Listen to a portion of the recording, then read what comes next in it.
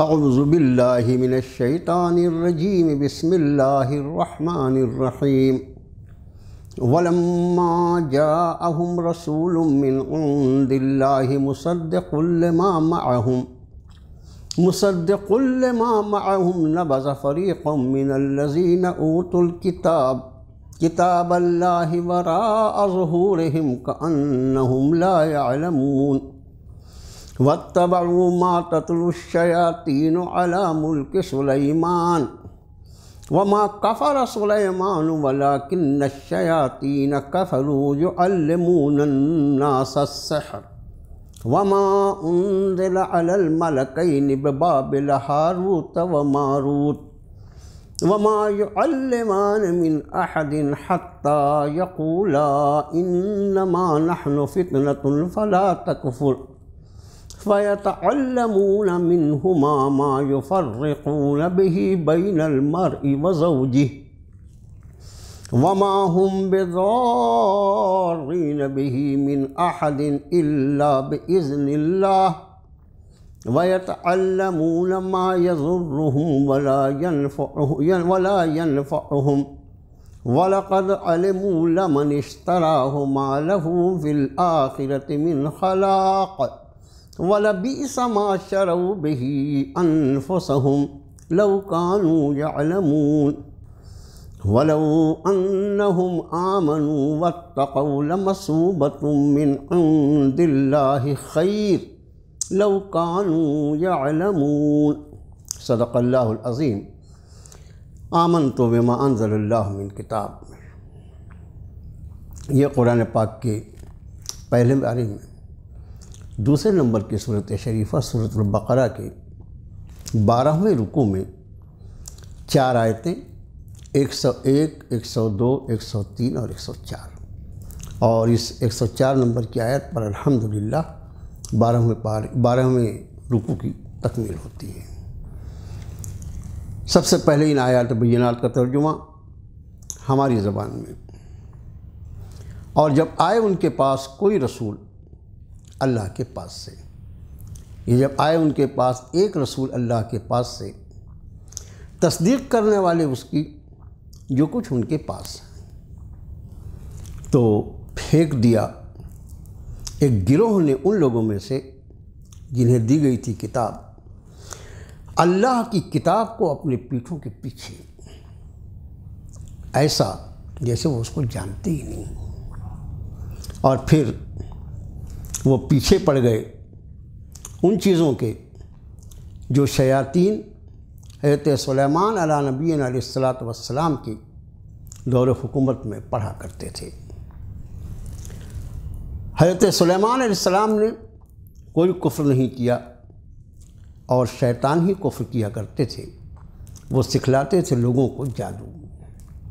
اور وہ جو اتارا گیا دو فرشتوں پر بابل میں، ہاروت اور ماروت نام کے اور نہیں وہ دونوں سکھلاتے تھے کسی کو بھی، یہاں تک کہ وہ کہہ دیتے تھے کہ ہم آزمائش ہیں، تو کفر میں مت پڑھ۔ پھر وہ لوگ سیکھ لیتے تھے ان دونوں سے، جس کے ذریعے وہ تفریق ڈالتے تھے درمیان شوہر اور اس کی بیوی کے اور نہیں تھے وہ، کسی کو نقصان پہنچانے والے اس کے ذریعے بغیر اللہ کے اذن یا بغیر اللہ کے حکم کے۔ اور وہ سیکھتے تھے جو نقصان دہ تھا ان کے لیے اور نہیں تھا وہ نفع بخش۔ اور تحقیق، وہ جانتے تھے کہ جو کوئی خریدار ہوا اس کا، پھر نہیں ہوگا اس کے لیے آخرت میں کوئی حصہ۔ بہت ہی برا وہ، جس کے بدلے انہوں نے اپنے آپ کو بیچ ڈالا۔ کاش وہ جانتے ہوتے۔ اور اگر یہ کہ وہ ایمان لے آتے اور پرہیزگاری اختیار کرتے، تو ضرور بہترین بدلہ پاتے۔ اللہ کی جانب سے، اللہ کی طرف سے۔ کاش وہ اس بات کو جانتے ہوتے۔ یہ ہے ان چار آیات بینات کا ایسا ترجمہ جو ہماری اور آپ کی زبان میں کہا جا سکتا ہے۔ اصل تو یہ ہے کہ کلام الہی اس کی چاشنی کا صحیح انداز وہ لوگ لگا سکتے ہیں جو اس کو اس کی اصل زبان میں سمجھتے ہیں۔ لیکن چونکہ ہمارے اور کلام الہی کے درمیان زبان کا حجاب ہے۔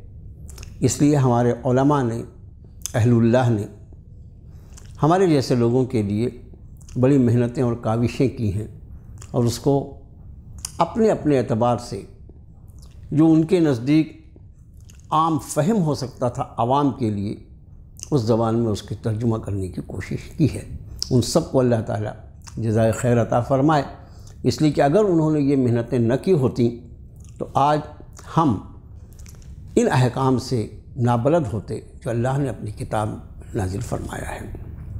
آج کا جو مضمون ہے، اس میں پہلی آیت جو ایک نمبر کی تھی، اس میں یہودیوں کی اسی بے راہ روی کا تذکرہ فرمایا کہ جب آئے ان کے پاس ایک رسول اللہ کی طرف سے، تصدیق کرنے والے اس کی جو کچھ ان کے پاس تھا۔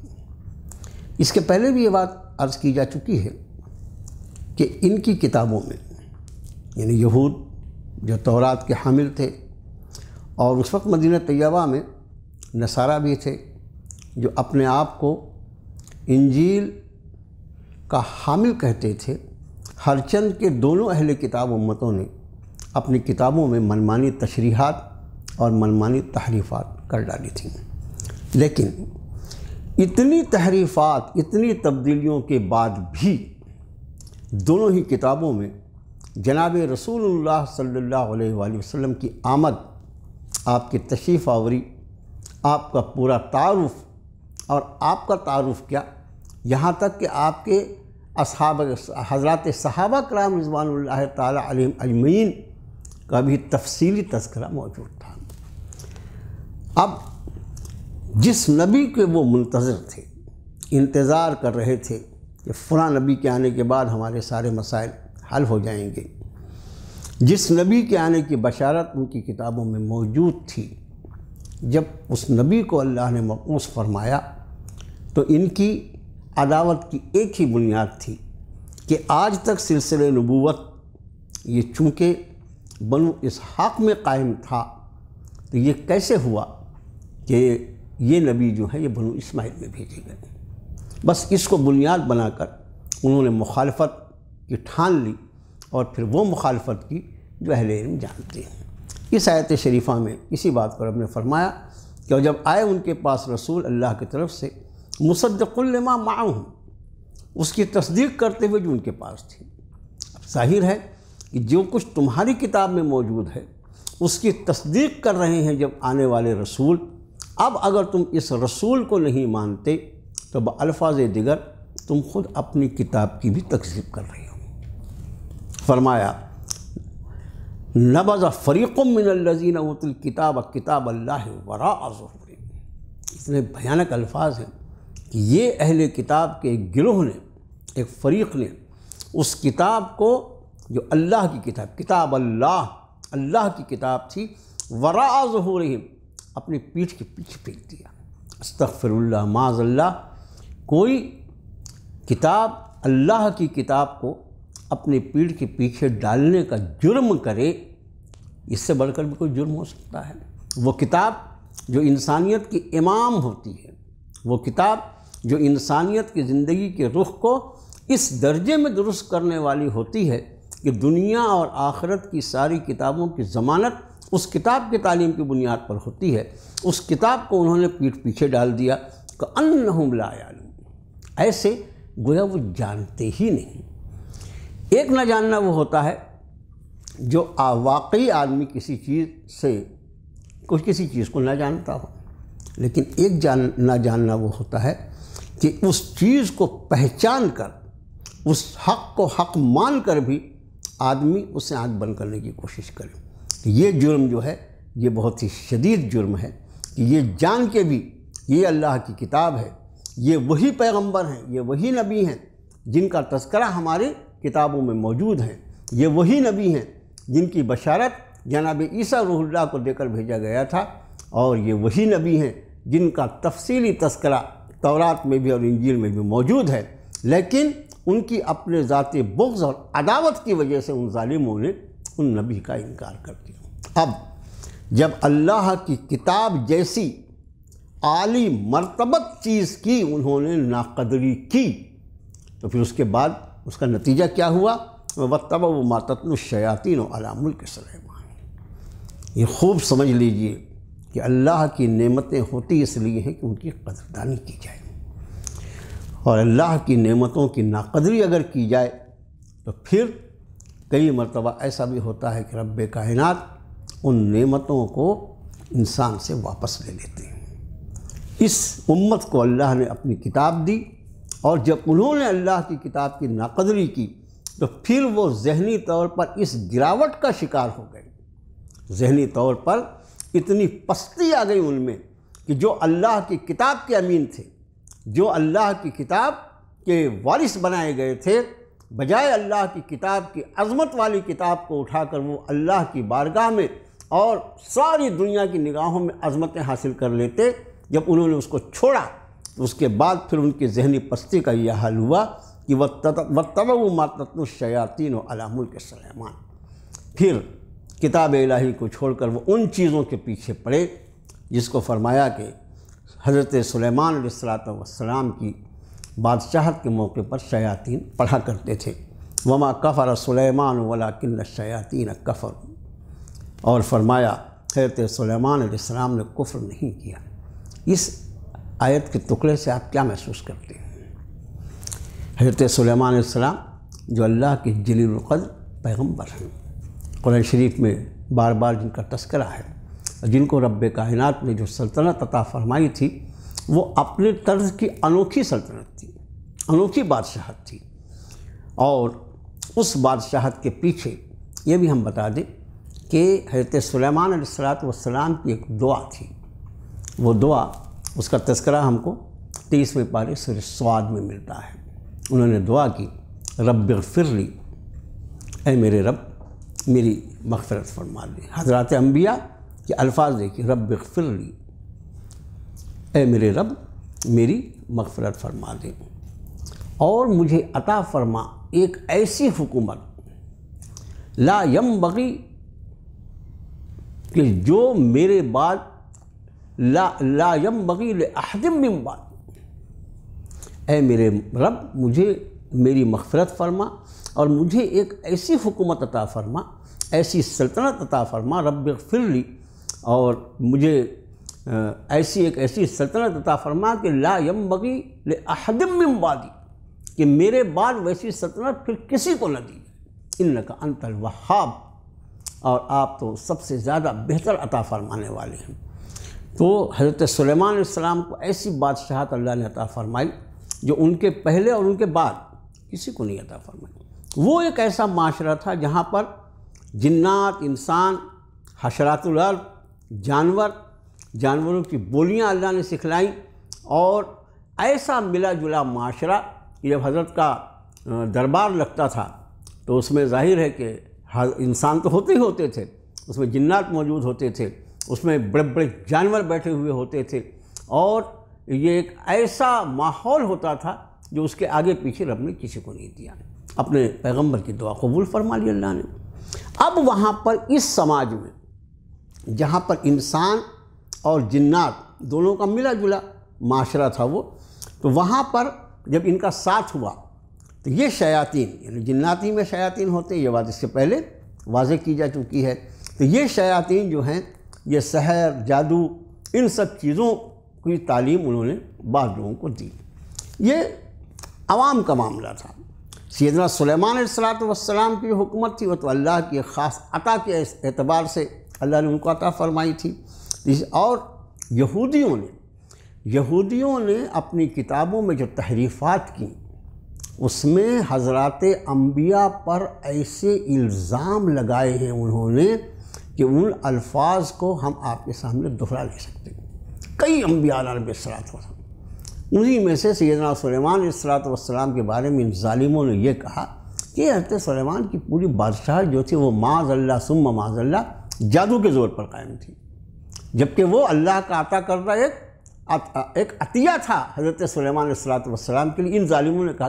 اور جادو جو ہے، چونکہ یہ کفریہ فعل ہے، جادو جو ہے، یہ کفریہ فعل ہے۔ اس لیے یہاں رب نے فرما کفر سلیمان حضرت سلیمان نے کوئی کفر کا کام نہیں کیا ولا کن شیاطین کفرو بلکہ شیاطین جو تھے، انہوں نے کفر کیا۔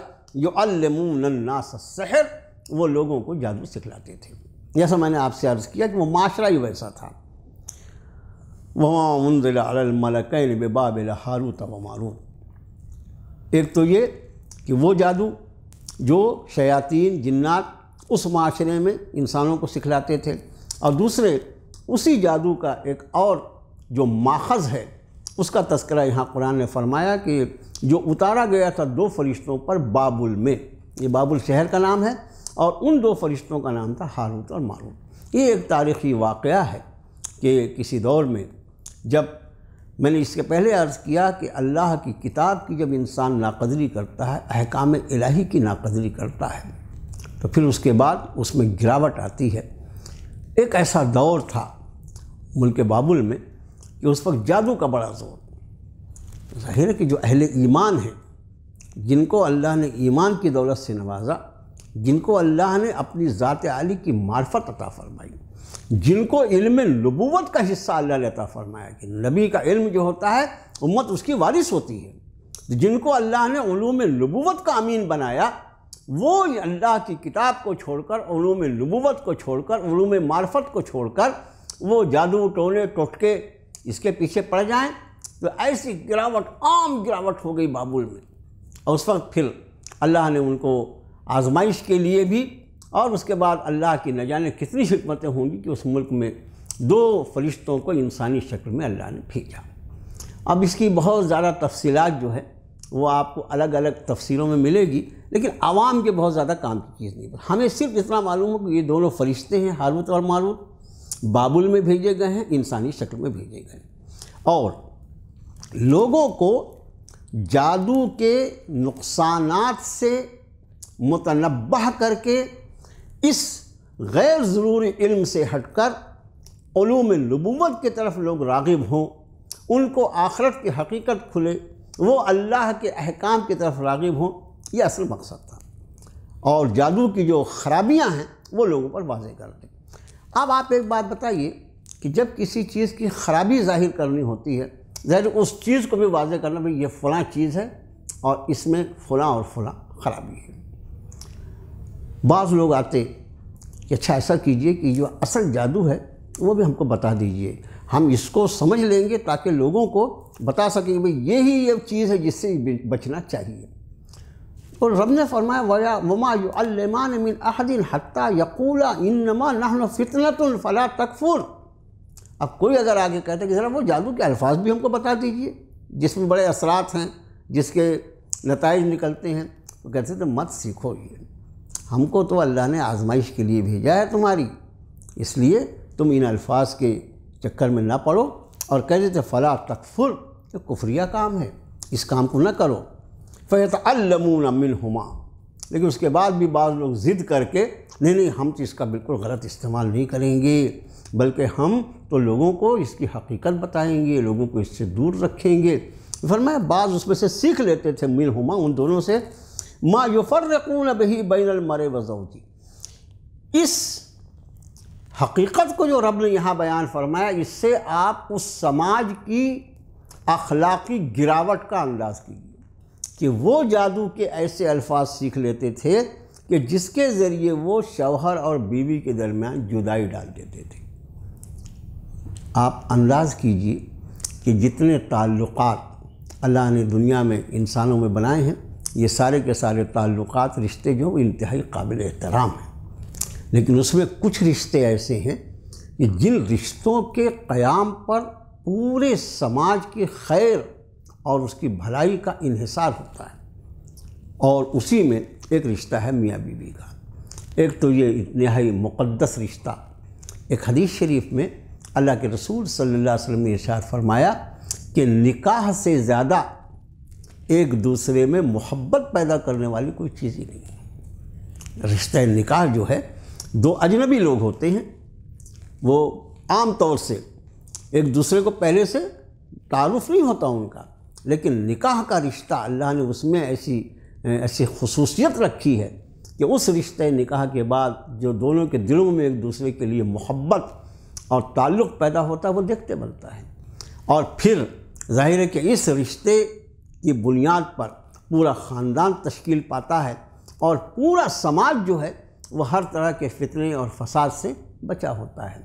اب کوئی شخص کسی کی بیوی کے بارے میں، میاں بیوی میں انبن کروا دے، ان کے تعلقات خراب کر دے، ظاہر اس کے پیچھے مقصد کیا ہوگا؟ کہ اس خاتون کو اپنی طرف متوجہ کرنا۔ اس لیے میں نے عرض کیا کہ اب ان کی اخلاقی گراوٹ کا آپ انداز کیجیے کہ جب وہ احکام خداوندی کے حالے اور دائرے سے نکلے تو اس کے بعد ان کی گراوٹ کتنی ہوئی یہ اتنا ہلکا کام کہ کوئی شریف آدمی اس کا تصور نہیں کر سکتا۔ حالانکہ ہونا یہ چاہیے، ایک عام شریف آدمی جو ہے اس کی سوچ یہ ہوتی ہے کہ اگر خدا نخواستہ خدا نخواستہ کہیں میاں بیوی کے تعلقات میں کوئی رکھنا پڑ رہا ہے، کوئی خرابی پیدا ہو رہی ہے، تو ایک شریف انسان ہونے کے ناطے ہمیں اس میں مداخلت کرنی ہے۔ کہ وہ رشتہ خراب نہ ہونے پائے۔ اس لیے کہ ایک رشتہ نہیں ٹوٹے گا، بلکہ اس کی وجہ سے نہ جانے کتنے کتنے تعلقات خراب ہوں گے، کتنے خاندان منتشر ہو جائیں گے۔ ایک شریف آدمی کا کام ہے کہ اگر کہیں کوئی ایسی خرابی دکھائی دیتی تو حتی الامکان کوشش کرے کہ اس خرابی کو دور کر کے اس رشتے کو استوار کرنے کی کوشش کرے۔ شرافت کا تقاضا یہ ہے۔ یہاں پر میں ایک حدیث شریف کی روشنی میں اللہ کے رسول صلی اللہ علیہ وسلم نے فرمایا کہ ابلیس روزانہ اپنا تخت بچھاتا ہے اور تخت بچھا کر اس پر بیٹھ کر اس کے جو کارندے ہیں یعنی مختلف شیاطین جو دنیا میں پھیلے ہوتے ہیں برائیوں کو پھیلانے کے لیے، لوگوں کو گناہوں پر آمادہ کرنے کے لیے ان سب کو جمع کرتا ہے۔ یہ یہ سمجھ لیجیے کہ رپورٹنگ کے لیے وہ سب کو جمع کرتا ہے۔ اب مختلف شیاطین جو ہوتے ہیں وہ اپنے اپنے کارنامے اس کے سامنے پیش کرتے ہیں۔ میں نے فلاں کیا، میں نے فلاں کیا، جیسے کوئی کہتا ہوگا کہ بھئی ایک طالب علم جو تھا وہ باقاعدہ اسکول جا رہا تھا۔ میں نے اس کو بہکا دیا کہ ہاں اسکول میں کیا رکھا ہے؟ جب ٹاکیز میں بیٹھ جا اسی طرح کوئی شریف آدمی جو ہوگا، کوئی بھلا کام کرنے جا رہا ہوگا، اس کو میں نے برائی پر آمادہ کر دیا۔ یہ کام شیاطین کرتے رہتے ہیں، ساری دنیا میں چلتا ہے۔ شیطان ابلیس جو ہے وہ سب کی باتوں کو سنتا ہے۔ اور بس یوں ہی نظر انداز کرتا ہے۔ اس میں سے ایک شیطان کہتا ہے کہ میں نے آج ایک میاں اور بیوی میں جھگڑا لڑا دیا۔ بڑی محبت سے رہتے تھے، لیکن میں نے ان میں جھگڑا لڑا دیا۔ آپ صلی اللہ علیہ فرماتے ہیں کہ ابلیس اس کو سینے سے لگا لیتا ہے۔ اصل کام تو تو نہیں کیا۔ اس سے آپ انداز کریں کہ جو مختلف گناہ اور مختلف فتنے، فساد کے کام ہوتے ہیں، اس میں ابلیس بھی جس کام کو بہت زیادہ پسند کرتا ہے، وہ ہے میاں بیوی میں اختلاف پیدا کر دینا، ان میں جھگڑا لڑا دینا۔ اب یہ جو جادو سیکھتے تھے، وہ جادو کا کیا کام لیتے تھے وہ؟ ماں یفرقون بہی بین المر و زوجی۔ اس سے میاں بیوی کے درمیان تفریق ڈال دیتے تھے، تفرقہ ڈال دیتے تھے، جھگڑا لڑا دیتے تھے۔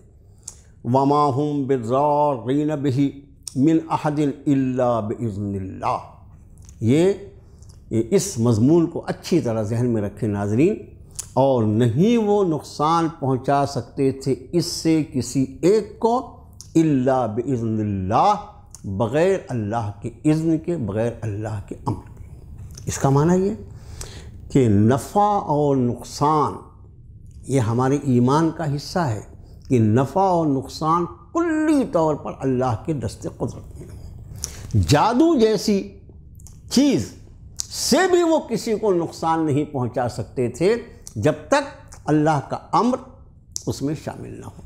اب اس بات کو آپ یوں سمجھ لیجیے کہ ایک شخص نے ہمیں زخمی کرنے کے لیے ایک پوری طاقت سے ہماری طرف پتھر کو اچھالا۔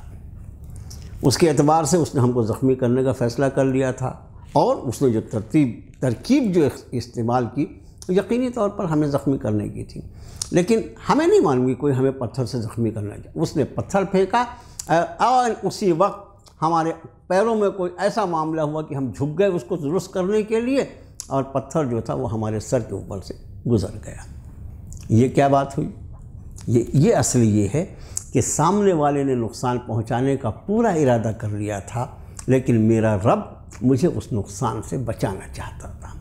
اس لیے کوئی نقصان یا فائدہ کسی بھی چیز میں، فی نفس ہی کسی بھی چیز کے اندر نقصان یا فائدہ پہنچانے کی کوئی طاقت نہیں ہے اللہ بزن اللہ۔ قرآن شریف کی آیت ہمیشہ اپنے سامنے رکھے، جس میں رب نے فرمایا کہ وہیں یم سسک اللہ بدر فلاں کاش فلاح اللہ وہیں یرید کا بخیر فلا راد دل فضل ہی یسیب بہی میں یشا من عباد ہی وہ الغفور الرحیم۔ کہ اگر اللہ تجھے کسی نقصان کے پہنچانے کا فیصلہ فرما لے، ارادہ کر لے، تو اس نقصان سے خود اس اللہ کے سوا تجھے کوئی نہیں بچا سکتا۔ لیکن وہیں یرید کا بخیر، لیکن اگر وہ تجھے تیرے ساتھ کسی بھلائی کا ارادہ کر لے فلا راد فضل ہی پھر اس کے فضل کو کوئی روک بھی نہیں سکتا۔ یعنی مختار کل اللہ کی ذات ہے۔ یعنی ہمارے سارے خیر اور شر، یہ ہماری ساری امیدیں اللہ کی طرف ہی متوجہ ہونا چاہیے۔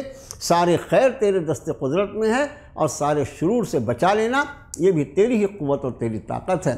گویا جادو کوئی ایسی چیز نہیں ہے کہ جو خدا نخواستہ خدا نخواستہ الیاز باللہ، اللہ کی پناہ کہ وہ اللہ کے دائرہ اختیار سے باہر کی گئی۔ سامنے والا نقصان پہنچانے کی کوشش کرتا ہے، جیسے مختلف نقصان پہنچانے کی چیزیں ہوتی ہیں، لیکن وہ چیز ہمیں اسی وقت نقصان پہنچا سکتی ہے جب اللہ ہمیں نقصان پہنچانے کا ارادہ فرما لے۔ اور اگر اس کا ارادہ ہو تو کوئی کتنی بھی خطرناک چیز ہو، اس میں فی نفس ہی نقصان پہنچانے کی کوئی طاقت نہیں ہے۔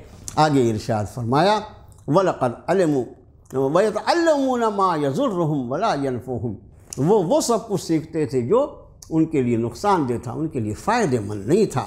وَلَقَدْ عَلِمُوا لَمَنِ اشْتَرَاهُ مَا لَهُ فِي الْآخِرَةِ مِنْ خَلَاقٍ اور وہ جانتے تھے اس بات کو کہ جو کوئی یہ سب کچھ حاصل کرے گا، اس کے لیے آخرت میں کوئی حصہ نہیں ہوگا۔ اور اس کے بعد ارشاد فرمایا کہ وَلَبِي سَمَا شَرُوا بِهِ أَنفُسُهُمْ۔ اتنی بری چیز تھی۔ جس کے بدلے انہوں نے اپنے آپ کو بیچ ڈالا۔ لو کانو یعلمون، کاش وہ اس بات کو جانتے ہوتے۔ یہاں پر شرعی اعتبار سے جو عام مسائل ہوتے ہیں اس میں یہ خیال رہے کہ فی نفس ہی جادو ایک علم ہے۔ اس میں تاثیر اللہ نے رکھی ہے، جیسے ہر چیز میں تاثیر ہے، ویسے اس میں ایک تاثیر ہے۔ لیکن اس میں کوئی ایسی تاثیر نہیں جو اللہ کے عمل کے بغیر ہم کو نقصان یا نقصان پہنچا سکے۔ دوسری بات یہ کہ عوام علماء کے نزدیک کہ اس میں فتح عالمگیری فتح قاضی خان وغیرہ جو بڑی کتابیں ہیں، ان کو بھی اگر آپ دیکھیں تو جادو کا سیکھنا اور سکھانا حرام فعل ہے۔ یہ شریعت محترم ہے اس لیے کہ انسان جو ہے وہ لوگوں کو نفع پہنچانے کے لیے اللہ نے پیدا کیا، لوگوں کو نقصان پہنچانے کے لیے نہیں۔ تو یہ کوئی فائدہ مند چیز ہے نہیں۔ شرعی اعتبار سے اس کا سیکھنا، سکھانا۔ اب کوئی اس سے بچنے کے لیے آدمی کو بڑا صاحب، سحر ہو گیا، سحر ہو گیا، سحر ہو گیا، کیا کریں؟ اس کے اثرات کا انکار نہیں کیا جا سکتا، لیکن امر الہی اصل ہے۔ اللہ کی پناہ چاہی جائے۔ جیسے قرآن شریف نے ایک جگہ فرمایا کہ وقل رب اعوذ بک من حمزات الشیاطین و اعوذ بک رب ان یحضرون آپ یوں دعا فرمائیے نبی صلی اللہ علیہ وسلم، اے اللہ، میں تیری پناہ میں آتا ہوں۔ اس بات سے کہ شیاطین چھیڑ چھاڑ کریں، کوئی وسوسہ ڈالیں، اور میں اس بات سے بھی تیری پناہ طلب کرتا ہوں کہ وہ میرے پاس آئیں۔ اللہ کی ذات کی پناہ مانگیں پھر سور فلق ہے سور ناس ہے، آیت الکرسی ہے۔ سورت البقرہ کی ابتدائی آیتیں ہیں۔ یہ آیتیں جو ہیں، کلام الہی، اللہ کا کلام۔ یہ وہ حصار ہے کہ اس کلام الہی کے اندر کوئی چیز پہنچ کر آپ کو نقصان نہیں پہنچا سکتی۔ بس اللہ کے کلام کے حصار میں اپنے آپ کو رکھیں، ذکر اللہ میں، اور پوری توجہ اللہ کی طرف۔ سارا خیر، سارا شر، سارا نفع، سارا نقصان صرف اللہ اور فقط اللہ کے دست قدرت میں ہے، ان کے سوا کسی کے ہاتھ میں کچھ بھی نہیں آگے ارشاد فرمایا کہ آگے ولو انہم آمنوا واتقوا لمصوبۃ من عند اللہ خیر۔ بجائے ان بہودہ چیزوں کے چکر میں پڑھنے کے، اگر وہ ایمان لے آتے اور پرہیزگاری اختیار کرتے۔ اللہ کا تقوی اختیار کرتے لمصوبۃ من عند اللہ خیر، تو اللہ کی بارگاہ میں ان کو بہترین بدلہ عطا فرمایا جاتا۔ اس کا معنی یہ کہ جو فائدہ مند چیز ہے، وہ ہے ایمان لانا، اللہ کا تقوی اختیار کرنا۔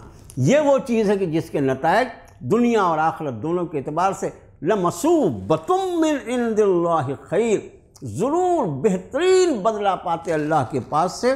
لو کانو یا لمون کاش وہ اس بات کو جانتے ہوتے۔ اللہ سے دعا ہے کہ اللہ ہمیں وہ علم عطا فرمائے جو علم نافع ہے۔ جیسے اللہ کے رسول صلی اللہ علیہ وسلم نے دعا فرمائی اللہ انی اسألو کا علم نافع اے اللہ، میں تجھ سے اس علم کا سوال کرتا ہوں جو نفع بخش ہو۔